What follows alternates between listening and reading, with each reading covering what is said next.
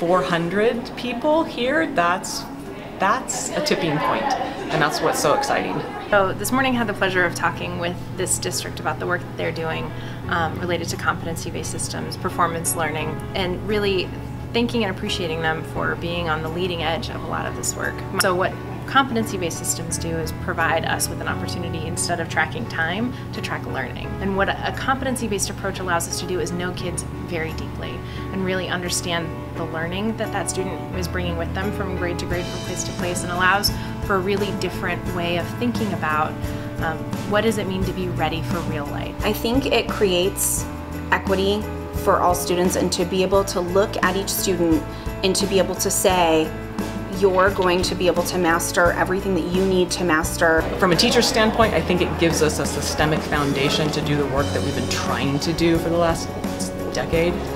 From a parent's perspective, and I have one who's just graduated from our system and another one who will be a sophomore, and uh, I wish my kids had had it. I think I think it would have met their needs better. This is a way to for the teacher to relinquish the need to be in charge of all 25 students in his or her classroom doing the same thing at once and be a facilitator for their learning.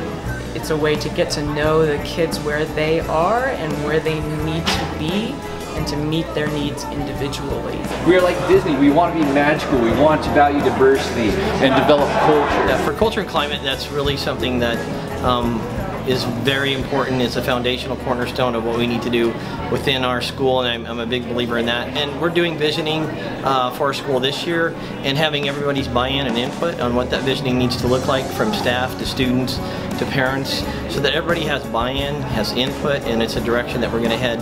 And everybody has a voice and choice and, and selection of what they want our school to look like. Every time I do this kind of work or I work with um, district schools or people who are starting this work, I always take back more learning to my site, to my district. Talking about it and collaborating with others um, validates and re-energizes me. It validates some of the work that we're doing. And we had a gallery walk so we could show our learning, we could visualize it, and we could share that with people who weren't in our session but also it um, kind of brings it all back together. Um, I have always wanted to have a student-centered classroom. I've always believed in that philosophy and when I found out what the district was doing, it made the decision really easy. It was something I wanted to be part of and the fact that I get to be at a demonstration site and that I've been given a lot of permission to do exactly what I think is best for students and try these new things and see what works. I and just and then to be able to share that with other new teachers that, or other teachers that are trying something new. Um, I just feel really fortunate fortunate to be part of that.